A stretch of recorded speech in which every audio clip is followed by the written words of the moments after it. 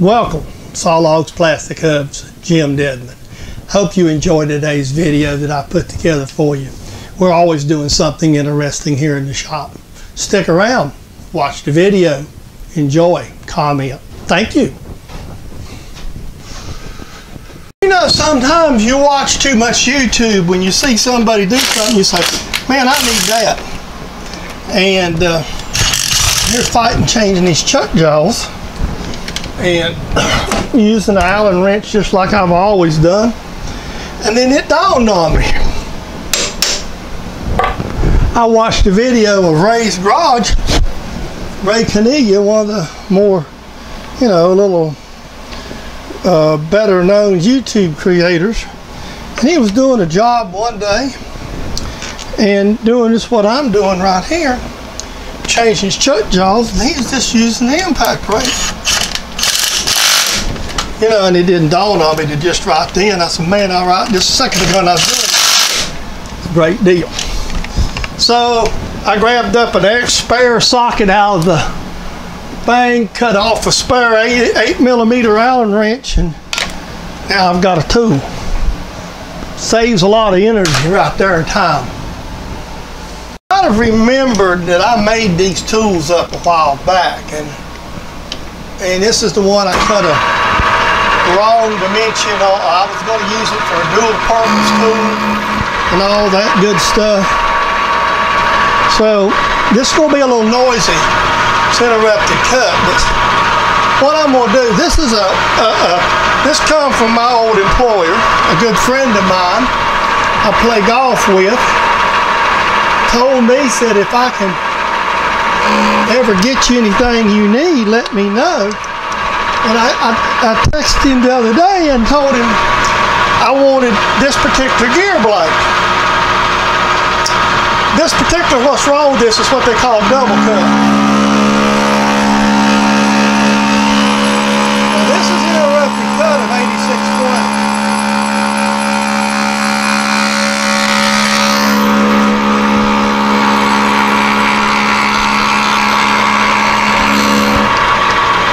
And what we got here is this part was double cut. I'm going to use this as a press plate arbor. What I'm doing is boring out, which is no size to it, the, the part that's defective. And you want to hear this interrupted cut sing because what it is.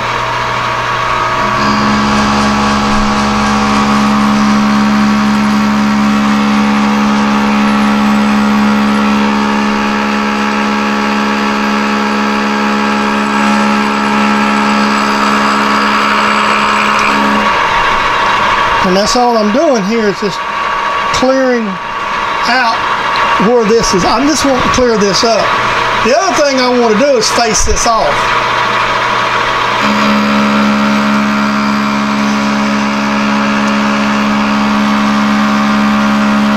So,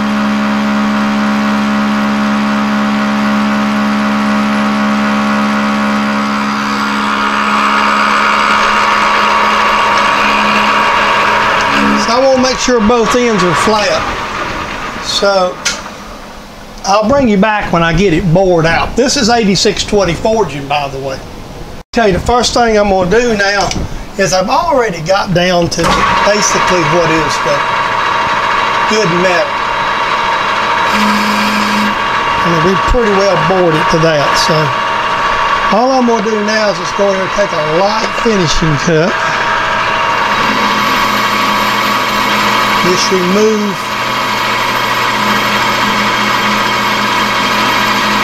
I'm going right up to the face and I'm not going to touch the old face. I'm not basically what I'm interested in now. Oh, that's good. I'm pleased. That's all I wanted to bore it out. So you see now I have cut out all the all that interrupted cut. So the next thing I need to do is I'm to see if I can, I'm to use a tool I haven't used much and we'll see how it works here in a second. Now one thing I'm going to do here, and again, I'm, you know, you have to check for all this clearance. This is a fairly large part, so what I'm going to do is I want this to be flat. To get it flat, I'm going to have to face it off. So, so the plan here is it's fairly a simple facing operation. I want it to be certain thickness, and I probably I want to make sure each side's flush, and I'm not sure about these parts. So what I'm going to do, the first thing I'm doing right now is I'm going in and I'm starting on the inside the part here. Uh, there's these parts are designed to go in a transmission, so there's a step to them. This is a main shaft gear for a uh, Eaton Fuller Ultra Shift. Uh, what it is. So what that's what it is and what it was and the reason the part was scrapped out is what they call double cut. The operation, the, the gear blank was turned and the piece you see me cut the splines out, there's a, a shaping machine. And with that shaping machine, internal shaping machine, it uh, does the shaping. Now what I'm doing is I'm using this tool Tom sent me down Hilltop. Uh, it's the one that you use aside the side to insert with because this is going to be primarily, everything I'm doing here is going to be primarily facing. And uh,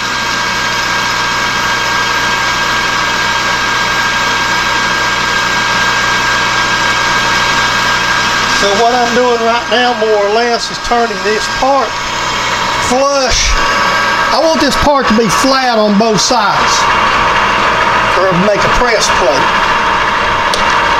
So I'm thinking that I'm just about now flat enough that I can go ahead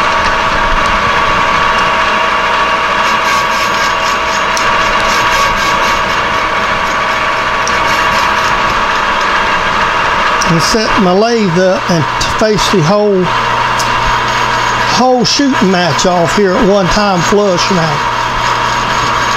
So I want these parts to be flush.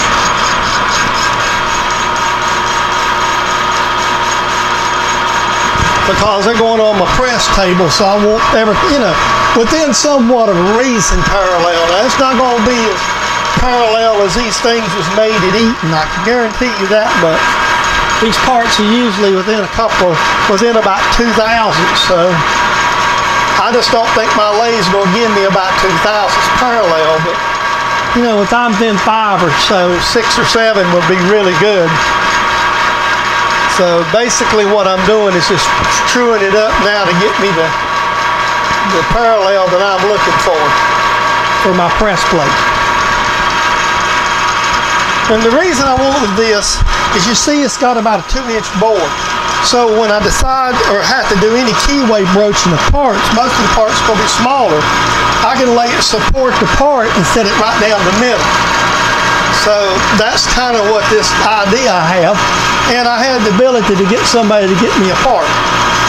I would not bore something out for this. I would tell you that the plates would be probably perfectly fine. In fact, I want this three quarter. And what I'll probably do is this is the side that it'll be cut down to give me the three quarter thickness. So what I'm going to end up doing here is I'm going to probably flip it more than one time.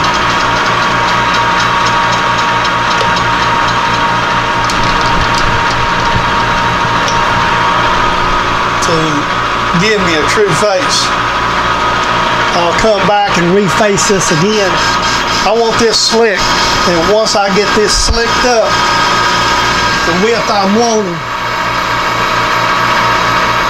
I mean, they turn their carbide pretty hot. That's why you see them pretty finishes on it too, by the way. All right, let me let you go. Now, all I'm doing here is facing this part. I want to make sure it's flush. I'm not sure where these hubs stick out or not. So, basically, I'm just going to kind of run it down in there and see. And if it does, I want everything to be flush. Or something. Actually, it looks like Yes, my opinion, that the hub sticks out more than the OD. This has a recessed hub in it. See, what I'm wanting to do is get these parts where, oh, well, I didn't do that. Let me go back. I'm about to mess. Bozo just about to pay us a visit.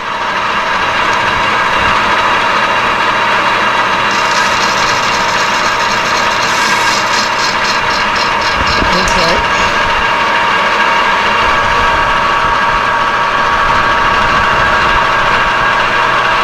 Well, what we want to do is that's going to be our finish. So you see, with with these gears, they were designed and made to go in here, and they had clearances and such that they were supposed. They're trying to maintain.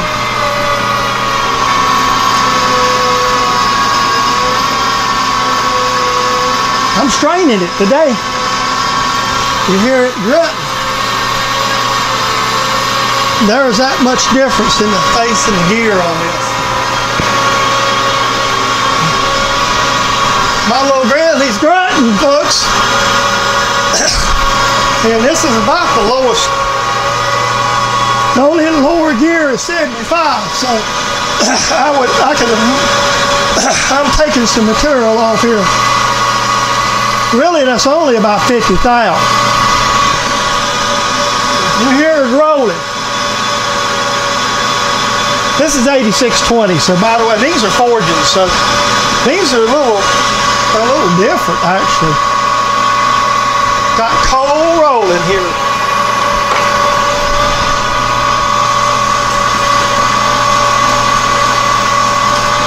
I know dang well what these chips will do to you. I got the stitches to prove it. So you won't see a, a, a grizzly lathe work right here. You're getting to see it because I'm running it, working it pretty darn hard. See, I want this to be flush. Then I'm going to flip it over and get the thickness that I'm wanting. I won't take no more of these cuts, by the way. You heard her grunt when she went in there, too.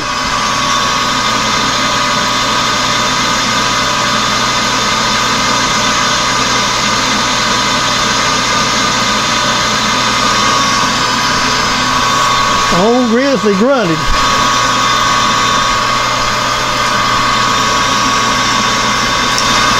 What I'm doing is I'm using my pliers because I'm not getting no chip control because I really can't get no RPM. I'm really running it in there like. Now this should be a really light cut here. So just barely kiss this. All right.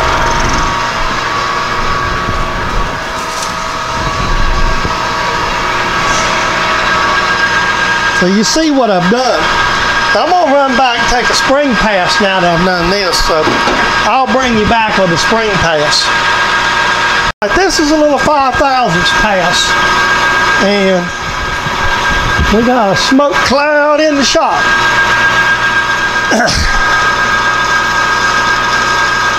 so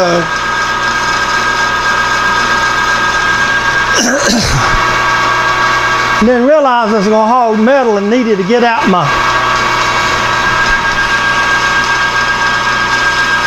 uh, cool mist.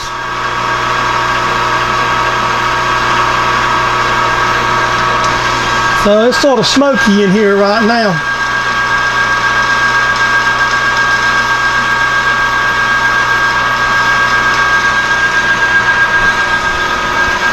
And these little lathes, you can work them.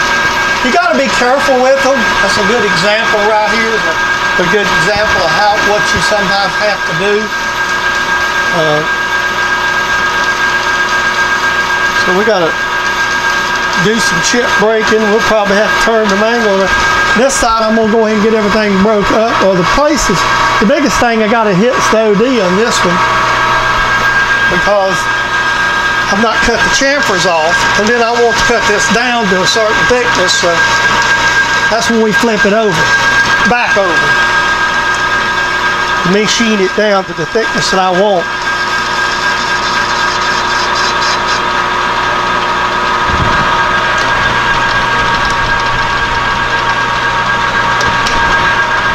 So there we go. We're going to have a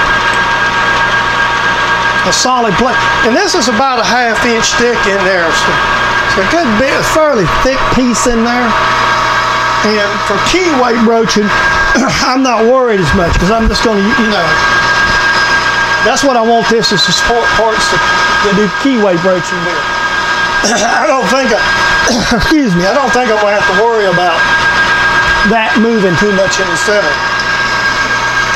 I'm going to press harder, I'll put a plate on.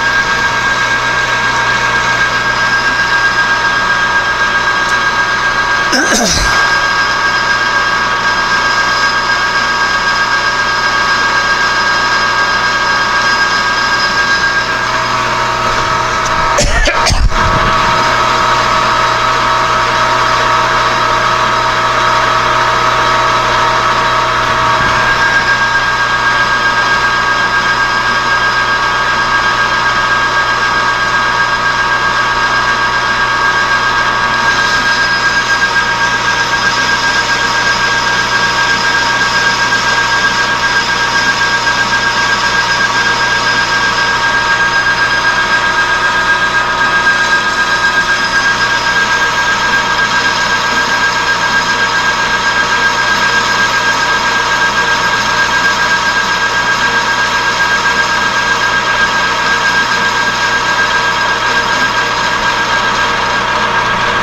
There we go. Now that's staged. All I gotta do is I'm gonna pull. Well, it's while the camera's running. I'm just gonna break it loose. I'm gonna use this tool here to cut, put the angle, the chamfer that I want on it, and we're gonna have it. And we'll go ahead and we'll. There we go. Still a little bit, bit of edge right there. So let's see what I've got down here. Yeah, that's a little bit sharp too. I'm going to have to kind of come in there and do something there. And I don't know what I got. Let me figure this out a second. Figured it out. Took me a second, but I got it. I happened to look, you know, I've got some some extra stuff I've made up. I'm just going to take this WMG here just set it in there just a minute. I may end up having Tell you what, let's do. I don't do this very often, like a lot of people, but this would work real good. You know, and you have, see, I get us a little bit of a, there we go.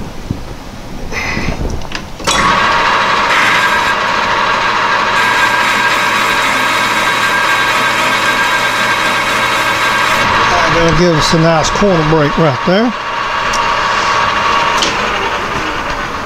See how that looks. Now it's nice and smooth. There we go. That's good to go now. Let me just see where I'm at my thickness. Checked it out and I've got about a, what we have is about an inch. So it's about an inch. There's no need in going in here Let's see I get this inside with this a little bit.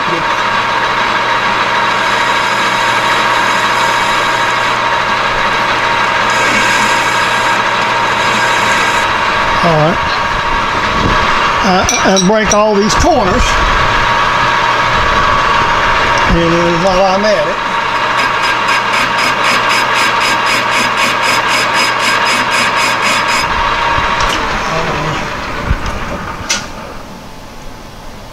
one needs a little more. That's good. This right here needs a little bit more. We'll have to. These forgings have always got a little bit of draft to them.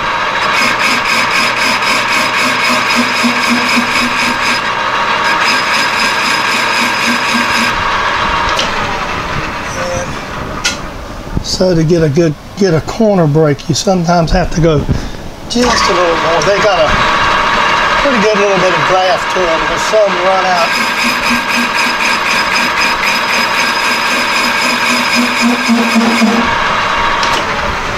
Just enough I wanted to break, so uh, I got a, that's why you see it look like this too, so that See, I've got a small break here. There's a little bit of a draft in these fortunes. Okay, well, there's my plate. I'll clean it up. Okay, right there on my my blue my blue cloth on the milling table is the completed job. But this isn't a precision. So this is the side that I want it flush, pressed to. This is the side that's going to be down most of the time. Both of these are now flush, they're oiled up and pressed. And basically that's why I wanted this gear because it's pretty sturdy and give me some good diameter for the press. I'll go lay it on the press and show you what we're talking about. You can see why I wanted to put this on the press. So you can set a, anything around to put a keyway broach in it and you got all this support. And even though this press is not much wider, but you still got a lot more support like that. So that's just another tool in the arsenal. And considering that I had a friend that could get me the piece that I wanted uh, for basically, you know, a donation to the shop. So that worked out pretty good and I'm well pleased with that. That's just a simple little thing. Just took some machining to get it, to make it a little more usable. So you see now with everything the way I want it, it's going to be just fine. So now I'll put this here in storage and this is just another piece for the press. Thank you for watching today's video. This is Jim. This, by the way, I will remind you, this is a copyrighted production of James Dedmon Sawlogs Plastic Hubs for your personal enjoyment here on YouTube. The other thing I want to do is quickly thank everybody that's out here, that's visited my channel, that views, that comments. Our channel is growing thanks to you, and I to send you a sincere thanks. Thank you, and have a great day, and we will see you in the next video.